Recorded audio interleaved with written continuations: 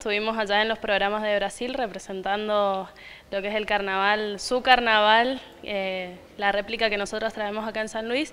Así que muy contenta, muy feliz y, bueno, seguir trabajando. Estuviste participando en uno de los programas más vistos, se podría decir, de Brasil y que bueno, tuvo mucha repercusión eh, tu, llegada ahí en ese programa y tu participación.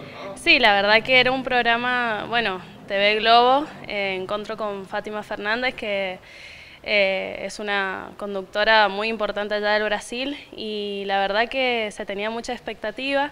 Eh, era, una, era un programa justo que hablaban del samba y de las, cómo su cultura se iba para, para otros países. Y bueno, me tocó a mí como argentina y sanluiseña en sí ir a representar, ir a representar a todos los sanluiseños. Estás promocionando bueno, lo que sería el Carnaval de Río en todo el país, bueno, en distintos lugares. Contanos un poquito cómo estás trabajando.